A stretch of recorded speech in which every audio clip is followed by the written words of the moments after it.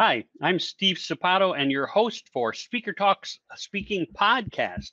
And today I have the wonderful pleasure of having Eva Keidel on. And Eva is an inventive, witty, creative meeting professional with a resourceful skill set uh, for designing connections through meaningful events.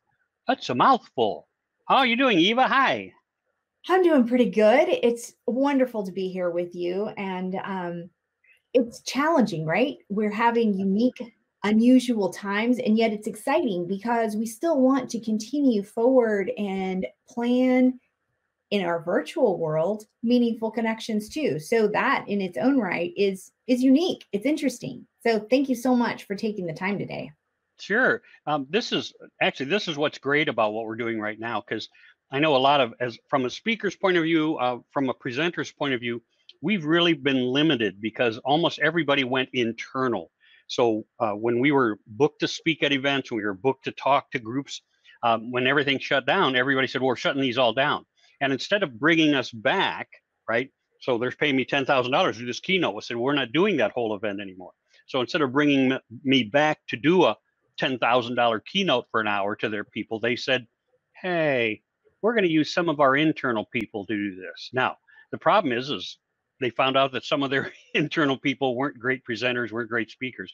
So, as I mentioned to you earlier, that's one of the reasons I put together the uh, certification process, certified virtual presenters, because we need to know who's good on the small screen. We need to know who's got the ability on small screen. But those are the challenges we face. Aren't part of them part of them the challenges? So, before we get into all that good stuff, how in the world do you become a professional, a meeting professional, right? MPI. You're part of the MPI group.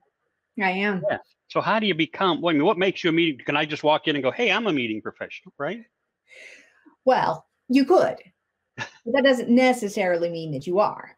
That, and, that's what we talk about. We say that about speakers. Everybody's a speaker or an author or a realtor these days. It doesn't mean they're good at it, right? Exactly. And you know, for some of us in the profession of meeting planners, you were born that way. I often when someone says well how? How did you? Why did you? It's an unusual field.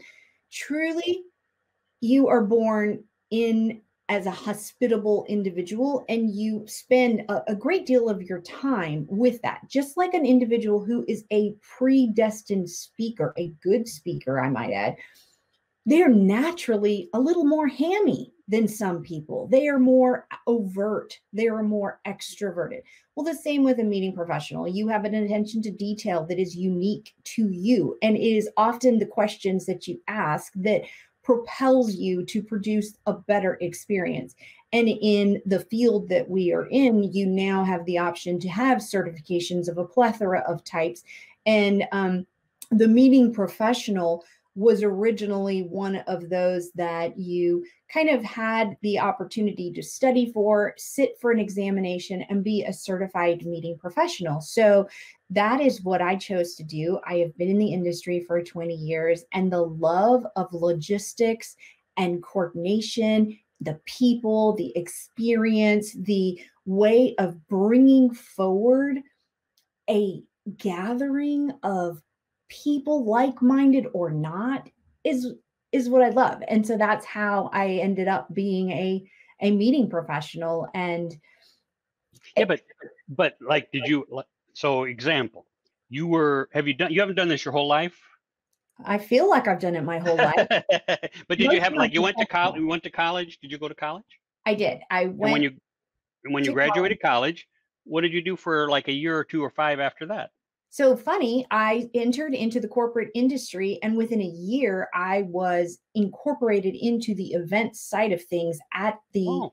at the organization that I worked for. And so, like, you don't back then, and I'll say back in the day because I'm not a young pup, but um, you didn't study a hospitality type of of degree that is become now the offerings, but that wasn't then. And so I well, actually, when I, but let me interrupt. When, when I think of hospitality, I think of people who are working in hotels. You know, the, they study hospitality and they get behind the desk so they one day become a manager of a hotel, right? That is one aspect of it. The hus- hospitality aspect has really grown and changed. And so you can go into different fields within the education system of hospitality. And so there are different universities and um, courses that within that structured academia that that focuses on the art of the arch of hospitality you know whether it's the audio visuals the actual meeting and events the um the actual hotel side of things with the general managers but um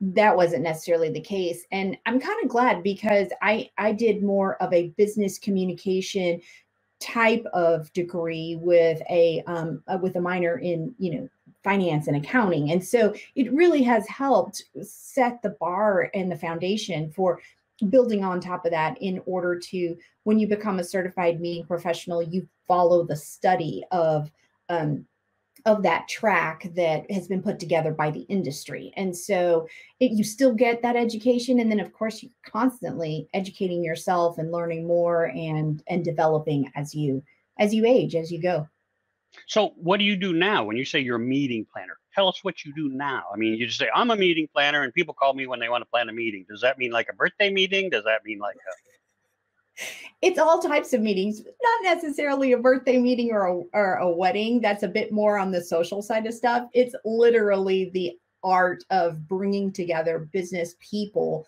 to discuss or study about a specific area, whether it be on um, the education. There is a lot of meetings that happen within the K through 12 side of stuff. There is um, the meetings that happen through an association, a very specific niche topic that you might have a focus in, whether it be construction or technology or those areas. And so, meeting professional depending on your need depending on what is available you you know you reach out to someone like me who has that business acumen of producing an event and it and it contains a component associated with managing of speakers and incorporating and selecting the right speakers to reinforce the theme of the event. If the theme of the event is a is a connection event. How it's perhaps it's a sales it's a sales conference and how to make sure that you can convey the message. You can close the deal. You can um, bring the contact in from that social media side of stuff to the phone call to the in-person meeting. How do you do that? Well as a meeting professional i would actively work with an organization like yours and say okay steve who do you know that is a really great speaker that also has the skill set of a salesperson. And you know you you or uh, others like yourself would say okay I, I know two or three. You should you should talk to them and see if they are the right fit for your demographics so there's a there's a question. How do you know? Like let's say you were just talking about that and you said i think steve would be good, or somebody said steve would be good for that. You call me up and we talk for a little bit. Do you want to see my videos? How do you do you and so like i always i tell all of my people uh, without a without a video you're almost invisible because without that people go eh, i'm going to pass but do you look at 30 seconds of a video or do you look at five minutes of a video? I would I would desire to see the entire presentation. I would love to understand how you carry yourself, whether it be in a live aspect, because you know, for your experience, you might have 15 videos from a live audience. Fine, pass it on because even the way that you carry yourself, the the way that you speak, the um, gestures that you make, that translates obviously into a more digital way. And uh, all fingers crossed, we will be moving back again to a live oh. offering in hopefully the near future. So, um, needless to say, even on a digital stage, if you're boring, you're boring on live and you're boring digitally. It's just the matter of the way it is. You know, I I don't know if you've seen my uh, stuff, but I uh, I got a phrase. It's uh, stop boring speakers, and I tell people all the time. You know, that's that's why you should get trained, and that's why you should also also get evaluated because we've all seen boring presenters, boring speakers, and yet when they come off the stage or down in front of the group, people go, "Hey, nice job, Steve. Nice job, Steve." And what they should have been saying is, you suck, Steve, or you're boring as heck, Steve. But nobody tells us that. So most of us walk away going, hey, I did pretty good. When what they should have been saying is, boy, I need a lot of work on that stuff. And so what I tell people all the time, and people will tell me, they'll call me up and go, hey, Steve, I blah, blah, blah, right? And I go, well, so uh, what what's your topic? And they go, oh, I have a really boring topic. That's my problem. And I go, no, you probably have really dry material.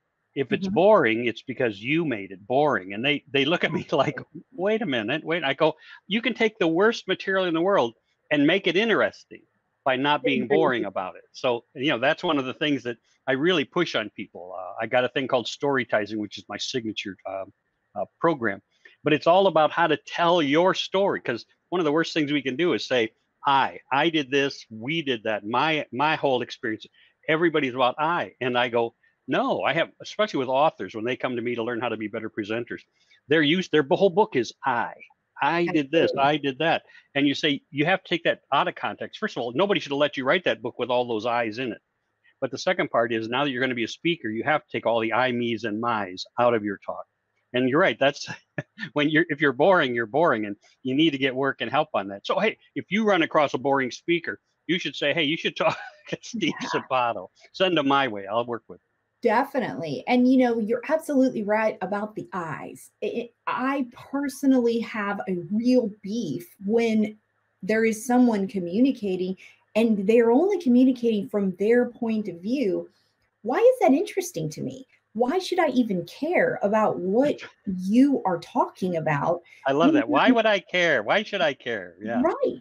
You're not relating the subject to me. So if I am supposed to be your audience, and that is one of the pieces of a meeting professionals, and I use the term hospitality loosely, but when you are hospitable, when someone is invited over to your home, often the first thing is, would you like a beverage?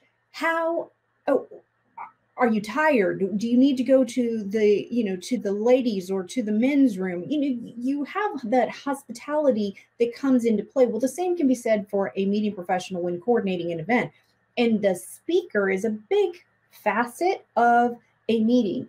If they are not a hospitable human who wants to bring the audience into and convey the importance for the audience, the information the audience needs, then as a meeting planner, you have to prevent them from coming to the session because otherwise you will you will ultimately skew the meeting from a positive outcome to that of a negative one where the audience walks away and they're and, and they won't tell you this in No. their in their surveys Yeah. but you hear the scuttlebutt or you'll see a tweet or a post on something that's like yeah speaker x y and z they they thought it was so fabulous that they created that in 1922 who cares? And you see stuff like that and you're like oh man that is what they remember about that event. And so as a professional who plans events you're looking to prevent that from happening. So, working with organizations such as yourself, certified presenters who are willing not to be boring, who are willing to be coached and grown, growing more to better the speaking opportunity is such a valuable aspect of Well, you know that's that's the one thing I've been speaking for 40 years, and that's what I tell people all the time. I can watch us any speaker um, and learn something from that speaker, whether it's learning what not to do, or whether it's learning what to do, or whether it's learning how to use a phrase. If you always go into stuff willing to learn, isn't that the key to success? Almost everything we do. Absolutely. That is really the aspect of willing to live versus just existing. If you have the desire to learn and continue to learn, and that's often one of the conversations that I will have with the speaker if I'm evaluating them for an event is I understand that I am not an expert in the field that you um, exist in. However, I do get what it feels like to sit at a eulogy. And if that's how your presentation comes off to me, I'm going to tell you. I- Oh, man, If when I listen to you, I want to reach over to my cell phone and be like, I wonder what's going on over here at Amazon. Do they have any special deals? You're pretty bad of a speaker.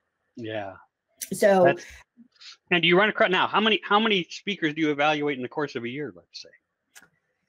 So it truly depends on the depths of the session. historically speaking, three to five, what you would say keynote speakers is what you would evaluate for an actual conference, an annual conference type of thing. However, I have worked with many speakers for webinar related presentations, and um, I am of the opinion that a webinar is just as important and now more than ever as we move forward into the digital delivery of content, which is what a webinar used to be, but we, we don't call that virtual learning. We would call it a webinar. But in fact, digital learning, the virtual type of education that we are doing now, is just like that. And making sure that the way that you do your presentation, the information that is inside of that presentation has a, a beautifully conveyed message. It, um, it, it gives you takeaways. And so the the evaluation of speakers, I, I've been doing it for for a long time and I can't say that I'm always perfect. And I've had a few pushbacks where people are like, I don't, I've been speaking for 30 years. I, I and just I, I, always say just because you've been doing it a long time doesn't mean you're the best at it. You know, people go, Well, I've been speaking for 20 years. You know, when I when I talk to them, I'll write to them and I'll say, Hey, you interested in becoming a certain they go, Oh no, I've been doing this for 10 years. I go, just because you've been doing it doesn't mean you're the best at it. And it's always amazing to me how people think, you know, say, here's the problem. Everybody's been speaking their whole lives. Now they go, yeah, but I haven't been speaking for a living. You know, I only started speaking for a living for the last five years. I go, great. I had a gentleman last year who uh, uh, called me up to inquire about my speaker talks event, and and was saying something like, I've been in demand for the last boy the last three months, Steve. I just tons of people. I go, wow, and he says, yep. I said, how many times? He's probably 20 times in the last three months I've been asked to speak. I was like, whoa, that's really good. And he's an airline pilot. And he's a this but everything he spoke was I, I, I, I, I, I, I. And I finally went, can I ask? I said, how much are you getting paid? I mean, it's none of my business, but how much, you know, how often are these paid speaking opportunities? And out of the last 20 speaking opportunities, one paid him, one. and I went, oh, well, okay. You know, and you try and say, well, that's why you're in demand. You know, you need to learn how to be a better presenter and start getting paid more for these. And he was like, I'm already great at this. And I wanted to go, no, you're not. You know, and that's again, obviously, even if he'd have asked me, I probably would have said I couldn't work with him because his attitude was, I'm already great. And all you'd get is, like you say, pushback, pushback, pushback. If they come with, I'm darn good, I think I'm really good, but let's find out. What can you teach me? Whole different story, isn't it? Absolutely. And that's what that's what you're looking for is someone. So when you say you narrow it down to three to five for the speakers listening in on this uh, podcast. How do you narrow it? How do I get on your list of three to five so that you'll even look at my stuff? Okay. So, one, you actually are willing to work with me on the content. You don't just say, look, I have five canned presentations and here they are A, B, C, D, E. No, no, no, no. You are actually like, I'd like to understand your demographics who will I be talking to? What are the age groups? You actually are willing to customize. So that okay. I'm gonna, but I'm um, I'm gonna interrupt a second because most of the times, don't we go to an event like the event is out there online and it says we're looking for speakers, and so they say, "What's your topic?" Right? Don't they say, "What's your topic?" I see I'm fading away. Something happened here that. on my screen, and I'm becoming irrelevant right in my own podcast. What is that all about? but um, so I write to these people and they say, "What's your topic? What's the title? What, what's the subject? And where's your video?" Now, is that where you come in, or how do I get to the other place? Uh, you know, obviously, I'm looking for the other place where I can submit and say, "Tell me about what I what you're looking for," because most places don't say that. It's true. So it's two sides of the coin. So, for instance, in a particular setting, if I were actively seeking a speaker, I I would not encourage a post that says let it's a free for all everybody submit type of thing generally it's easier to go and seek a person who has a subject matter expertise and work with them or quiz them on their their fashion of working you have to work within the style of the person that you're working with so let's take you for example there was an actual request in which there is a, a group of people who have to deliver presentations on a regular basis. Perhaps they're not good at it, perhaps they're scared, whatever the case is. I would seek a person like you, Steve, that has the subject matter expertise who could deliver a presentation on that. And so then my request would be to you it says, look, in six months, I'm planning an event where I have a 30 novice speakers who have been tasked to go and present. And what I need from you is a day long training that we pretend potentially break it up into two general sessions, two breakout sessions. And these are the the high level topics that I would be looking to work through. What do you think about that? And that would be where you and I would start the conversation. And then you could quiz me on the who, the what, the when, the where, the how long, and all of those types of things. And that would be the way in which you would then offer to customize or tell me here are the ways that I do this presentation. And that is where the where the why in the road leads. When you are looking to work with someone, it's a partnership. It is a, literally a partnership in order to produce a good event. And if by the person that I would like to work with is not in a partnering kind of way, he or she's like, look, this is what I do. This is how I do it. And this is what you'll get. Yeah. you. I start to see some real red flags there. And those red flags could turn into fireworks. And I don't want to work with a firework producing, you know, raging fire option. So I would might draw back and be like, okay, well, you know, maybe that's not the right plan. And so that's one mechanism. Obviously, you do see those opportunities where there is a, a notice that says, I seek X, Y, and Z. The other side of that story is there has to be a piece on your abstract that is something like a movie trailer that will tell the person that would be reading the abstract here's the takeaways that you're going to get here's how I deliver these takeaways, and here would be the value of you doing business with me. Value number one, I'm a, I'm flexible. I look to work with you. And value number three, my intention is to help you have the best event possible. So, when and if you do submit an abstract of that nature in which it feels like you're just applying for a job like when we you know submit a resume and it goes into a black hole if you make your abstract that last paragraph a little bit more about the value that you get i think you will likely get more traction for the people that are reading it. Keep it brief. Please please please keep it brief when you are submitting an abstract. There is no reason for it to be a three page informative mm. bit about the subject. There's no reason. Like your cover letter on a application, right? If it's two pages, nobody's going to read past that first like three quarters no. of a page. And in academia, it's probably the worst. You can have diagrams and uh, outlines and a resource page and footnotes slow your roll, bud. There's no reason to write a book. You just need to write what do you get? How let's let's move it to the next page. It's a little like those uh, you know, online dating things. How good is your picture? If your picture's really good, they might click on you. It's the same thing with an abstract. If it's a good abstract, a brief abstract, maybe you can get but to so, the next place. So how would how would any speaker know? Like you say, how would I submit an abstract? Where would I submit an abstract? So how do we get to the meeting planners?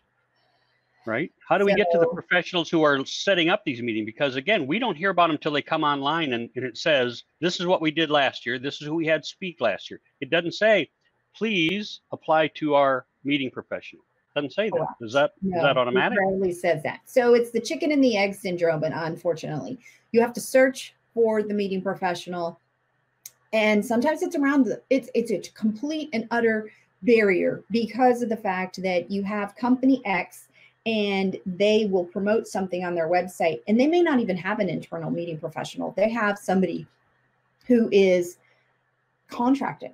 So we're not an employee of that company. We are actually an independent that they bring in and they, you know, just work with in that organization. So another valuable aspect for an, a, a speaking professional is to actively reach out to meeting planners and build those relationships proactively. Know meeting professionals through a myriad of ways. There are so many organizations in which meeting professionals are in eh, are able to connect. And I don't eh, you are a meeting professional just as much as I am because you work inside of that meeting entity. So actively work to develop those relationships how hard is it to reach out through LinkedIn and say, Hey, Eva, can we have a quick 15 minutes? I just want to get to know you and I would like to introduce myself to you. I want you to think of me the next time you have an opportunity. And that is the different type of marketing. It cannot always be done in a social media way unless you're a really amazing and pithy social media person. Then use but we all think we're amazing. Oh, well, heck. That's not always the case. I mean, you don't need to repost somebody else's post. If you're a good social media person, I'm going to follow you, I'm going to remember you, and I'm going to hopefully connect with you. But nothing is as meaningful as really connecting with somebody. Absolutely. If you can get a call you can get an email conversation, you can get a text message conversation going. Those are the types of connections that people remember because I know eh, I have a really amazing, and I call him a friend. I've never been to his home. I don't even know his extended family, except that he's on my he's in my cell phone. I can text him.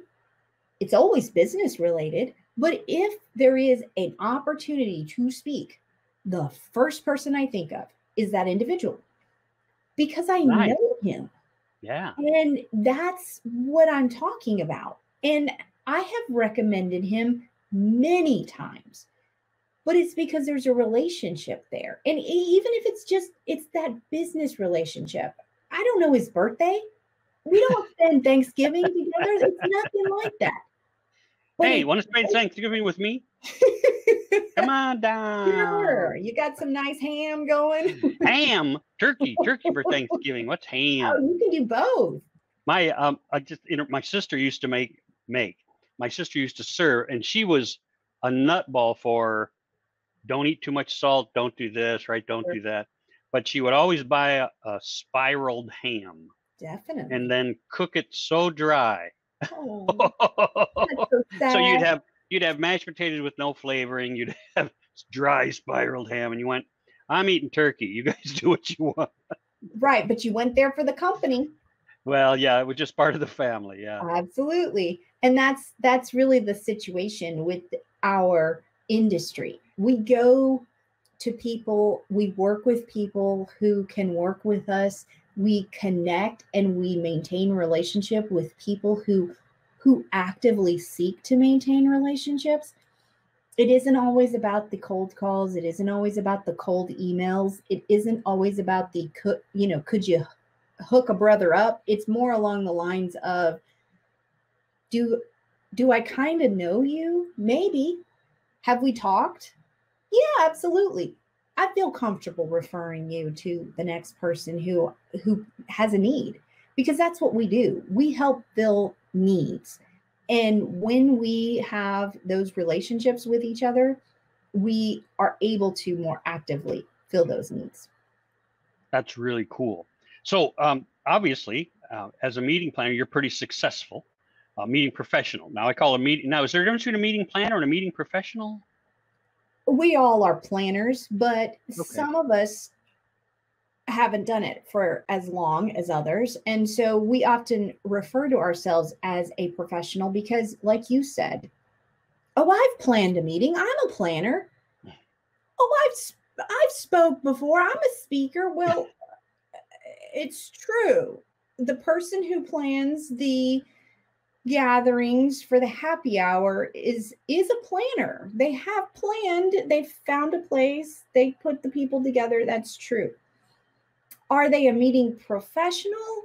Maybe not. And so that is really the differentiator. And um, and I think a lot of times we are careful about within the industry, we are careful about highlighting those certifications and those educational accomplishments because oftentimes the professionals within the meeting industry are kind of backseated when it comes to other professionals. And so we, I think collectively, we are all just careful about how we can highlight that we are very good at what we do as an industry. So how does a uh, we only got about five minutes left, but Okay. how does a meeting prof- how do you go about like how do you go about saying I'm going I want to go find somebody to work with? How do you you just call up a company and go, hey, your next meeting I want to be there? No, a lot of that has to do with relationships as well. So the more and more in the industry, and with COVID nineteen, you saw a lot of organizations essentially eliminate their event side of stuff because live events stopped. And when you hmm. don't have a live event, like you said, they go they they internalize the process of virtual meetings and they don't necessarily need that department. So now more than ever, they're going to need independent planners who can come in for just that time. We don't take, you know, there's not the fringe, the healthcare, the the benefits associated with it. So a lot of it is word of mouth relationship the um, procedural process that you get from the um, mpi the various forums that are out there the connections the one-on-one where someone says you know I, i've been working with somebody who said they're planning a meeting and they just they're they're missing a couple of the vital pieces that it makes to to bring that successful meeting forward and so they they work with representatives like us. And so sometimes you find it on MPI, sometimes it's at a local level, sometimes it's at the international level. And it's relationships, just like with, you know, me referring you, you would refer someone like me to other people that you know. Cool. That's great. And so if you have a piece of advice for a speaker who wants to get more speaking opportunities, do you have something? Hmm. Have a really outstanding website. Okay. Use What wait, what makes it outstanding? Don't just talk about your accomplishments. Actually, talk about the takeaways of people, what you would get. If you have five topics that you speak well on, make sure that their takeaways are actually articulated and well understood. Have a good way to get in contact with you. Don't make it just a bot. Like, actually have a phone number, actually have an email, respond for God's sakes, please respond. And then the final piece of it is connect with people in the way that you connect best. Not everybody prefers social media, fine. Some people prefer other ways. You know, there's still the networking opportunities that are out there. Uh, They're they're virtual right now, but they will once again go live. Connect, connect to other people. Can't be a silo in this industry. It doesn't work. You have to work with and be related to a myriad of other people so that they can help cross pollinate your your name brand with others. So the important things are have a great website that shows that you're flexible and workable and reach out to the people and don't just sit and wait, right? But reach out to the people like on LinkedIn or Facebook who have a meeting professional or meeting uh, planner or something to do with meetings. Reach out to them, say hi, have a conversation, start something, and then for goodness sakes, pick up the phone to get to know them to see if you really do have a connection.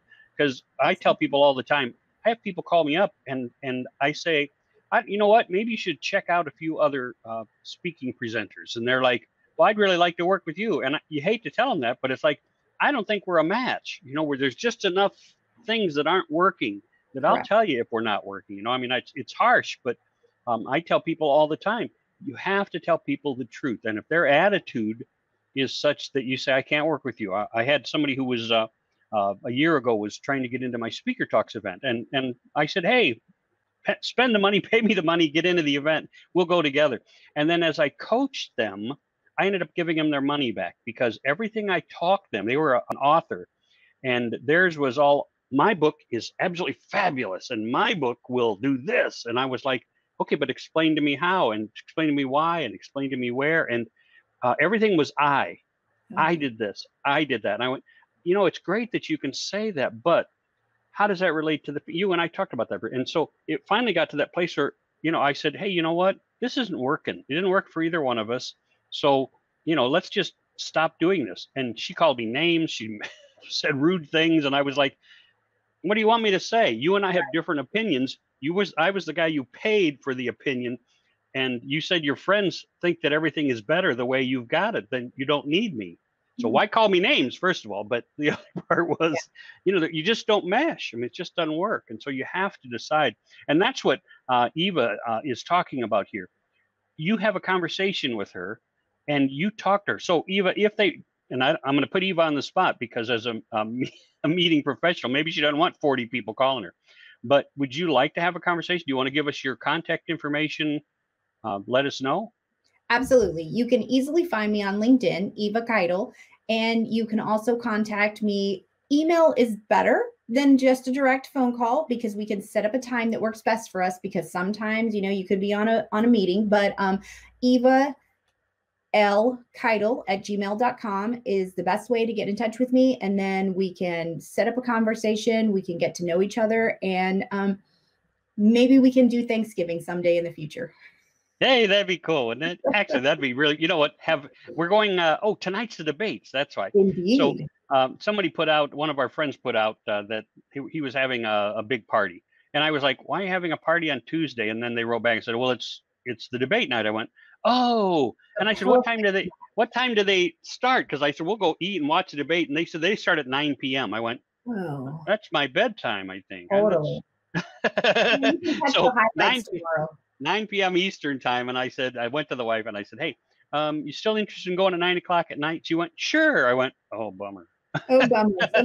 going to party. But we will. But that's right. You know how you how you get connected to people. You never know. Maybe we'll meet somebody at this uh, event that can change her career, change my career, change somebody else's career. Because when you find out from other people, um, I've got a book in the works. I call it. Uh, uh, let's see, shut up and succeed.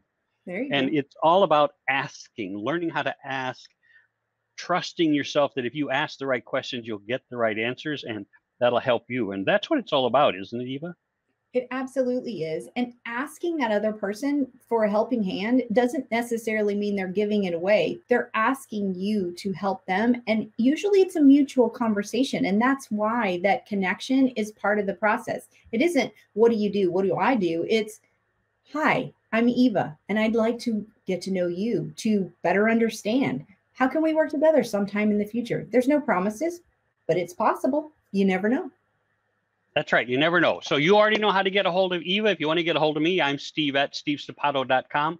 You've been listening to Speaker Talks podcast. And if there's anything you need to know, write to Eva, write to Steve. We will probably be able to come up with at least not the answer, somebody who can answer it for you. And that's the difference. Thanks a lot, Eva, for being on. I sure appreciate you. You're absolutely the best. My pleasure. Have a great day. Thanks. God bless. All right, and that wraps up Speaker Talks for today. And uh, again, steve at stevesapato.com. Uh, if you need more information, if you want to become one of my cert- certified virtual presenters, you can go scan me right here. Scan me. If you're not using that for all kinds of reasons, a QR code, uh, then you need to learn how to use your QR codes because they can absolutely change your business. And uh, if you need, you heard her say that she would love to work with virtual, um, certified virtual presenters, people who've gone back to school to be better. And that's what it's all about. So if you need any help, you need any information, you want to be a better speaker, a better presenter, if you want to get ready for when we hit the road again, starting in February or March of 2021, where all of us speakers are going to be traveling again and flying and staying in hotels and oh yeah, eating hotel food and sleeping in hard beds that other people have slept in. Anyway, if you want to be a speaker, give me a buzz. God bless. I hope you're having a great day.